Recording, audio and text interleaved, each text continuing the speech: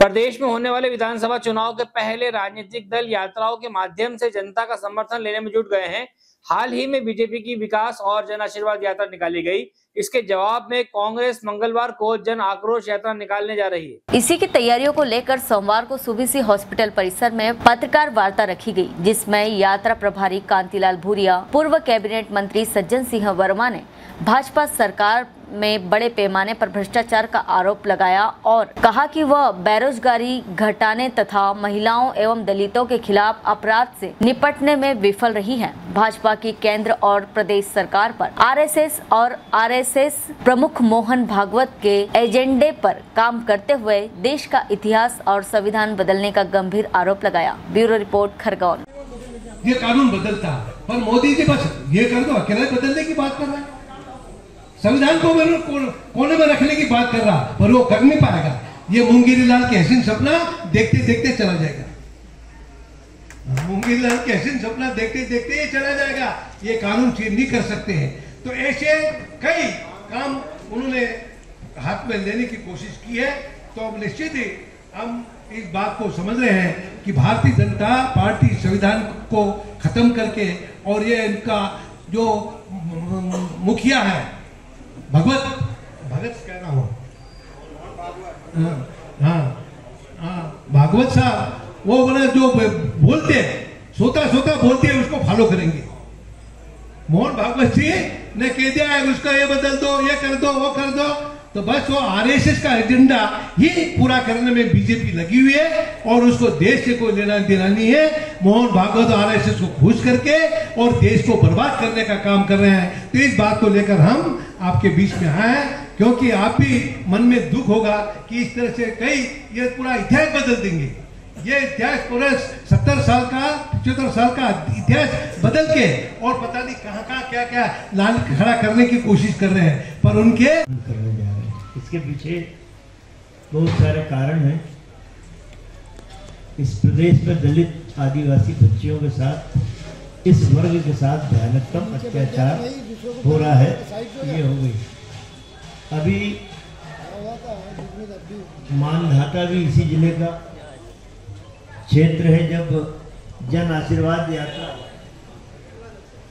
है, अपनी लोकसभा जो निमाड़ का हिस्सा है मानधाता से जब इन्होंने जन आशीर्वाद, शिवराज भाई ने यात्रा निकाली, तुलसी सिलावट इस यात्रा की अगुवाई कर रहे थे आरंभ में ही मानधाता के लोगों ने इनकी बुरी दशा कर दी, तुलसी सिलावट को बोलने नहीं दिया, उल्टे पैर भागना पड़ा।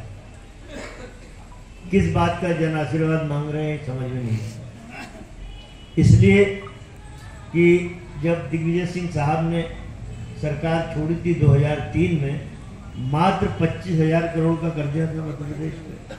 आज चार लाख हज़ार करोड़ के कर्जे में प्रदेश को डुबो के जन आशीर्वाद मांगने निकल रहे महँगाई चरम सीमा पे है, इसलिए आप जन आशीर्वाद यात्रा निकाल रहे हैं। नौजवान बेरोजगार है, किसान आत्महत्या कर रहा, उसकी फ़सल का मूल्य नहीं मिल रहा। भूरिया जी ने बता दिए सारी बातें कि सूखा पड़ा, कोई नहीं गया, अतिवृष्टि हो गई अभी, फ़सलों का नुकसान हुआ, कोई नहीं जा रहा। पटवारी जाए कहाँ से, भूरिया जी? पटवारी हड़ताल पे बैठा है। ज़मीन का आदमी हड़ताल पे बैठा जाएगा कैसे? भाजपा के इन लोगों ने उस ज़मीन के आदमी की बात भी, उसकी मांग भी नहीं मान रहे हैं। हम लोग जन आक्रोश यात्रा के माध्यम से याद दिलाना चाहते हैं। मध्य प्रदेश की जनता को कि आपने तो बड़ी ईमानदारी के साथ 2018 में हमारी सरकार को आशीर्वाद दिया था भूरिया जी के शब्दों में, भाजपा के चोरों ने हमारी सरकार चुरा ली। उसमें मध्य प्रदेश की जनता की कोई गलती नहीं है। तो हम निकलेंगे फिर उस रास्ते पे, जो रास्ता जनहित की ओर जाता है। जवाब तो नहीं दे सकते। जनता भी जागे और हम विपक्ष में बैठे नेता भी जागे। इसलिए जनता के बीच में जाके हम उनको याद दिलाना चाहते हैं कि इन अट्ठारह सालों में बीजेपी ने आपके साथ क्या किया? किसान कर्जदार हुआ, नौजवान को नौकरी नहीं मिली, महिलाएँ महँगाई से परेशान हैं, मेरे प्रदेश की दलित और आदिवासी बच्चों के साथ गैंग रेप हो रहा है। मतलब जो कर्मचारी अधिकारी वर्ग है, वो इतना परेशान है। आज के दिन भोपाल में एक लाख कर्मचारी इकट्ठा है।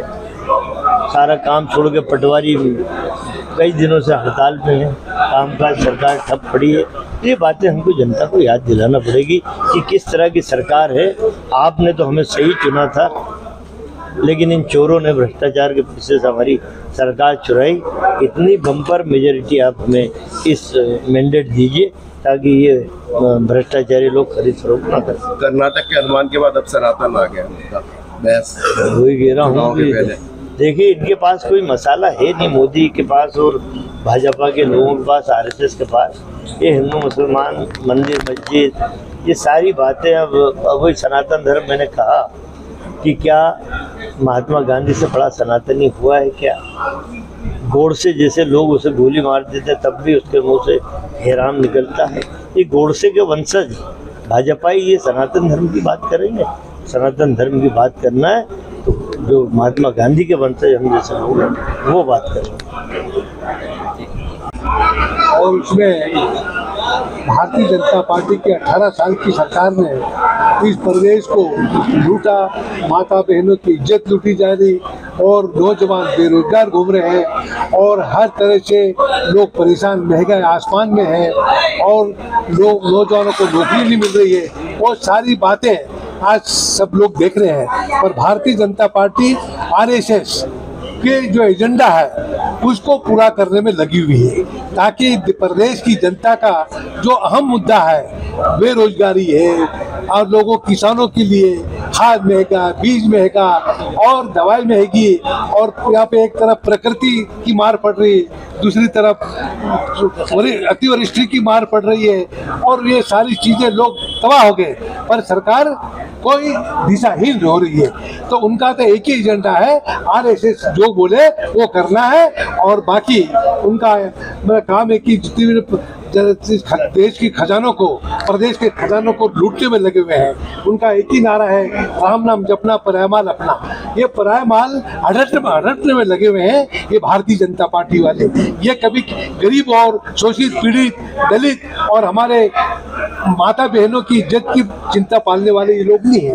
तो किस किस प्रकार से जवाब देंगे? जन आक्रोश यात्रा आप निकाल रहे हैं चुनाव एकदम आई है तो कैसे जवाब देंगे? बिल्कुल हम इसीलिए जन यात्रा जन आक्रोश यात्रा निकाल रहे हैं कि भारतीय जनता पार्टी को जब उन्होंने जो जो भ्रष्टाचार किया, जो जो दुराचार किया, अनाचार किया, और जो सरकारी खजानों को लूटा है, और ये सारी चीज़ें गरीब के लिए खर्चे और अपने ऊपर खर्च कर रहे खुद के ऊपर तो ये सारी चीज़ें हम जनता को जा जाके बताएँगे, और महँगाई इतनी आसमान में महँगाई रोक नहीं पाए, लोगों को मतलब मदद कर नहीं पाए, ये हर गरीब आदमी को जाके हम लोग बताएँगे और निश्चित ही हमारी बात सुनेंगे और आने वाले समय में भारतीय जनता पार्टी को मुँह और जवाब मिलेगा और 2023-24 में भाजपा की सरकार धराशायी होगी और कांग्रेस सरकार बनेगी। लाडली बहना को मास्टर स्ट्रोक मान रही है बीजेपी? लाज भाई लाडली बहना है बहन जी है हमारे और नारी हमारी नारी शक्ति है। नारी शक्ति को मदद करना चाहिए। पर ये नारी शक्ति के नाम से और नारी शक्ति के ऊपर अत्याचार हो रहा है और वो खुद मतलब मारामार हो रहे हैं। तो ये मैं नारी के नाम से नारा लगा के ये देश को कभी भगवान की बात करेंगे कभी हनुमान जी की बात करेंगे, कभी बहनों नारी की बात करें, पर उनके हित में कुछ नहीं होना।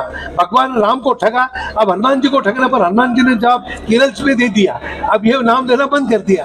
तो अब नारी भी, हमारी नारी शक्ति ऐसी है कि ये बहनों भाइयों करने में वाला है, वे कभी नारी सुनने वाली नहीं, और नारी उनको मुँह तोड़ जवाब देकर आने वाले समय में एक तरफा नारी जो जगत है, वो कांग्रेस के साथ खड़ी रहेगी।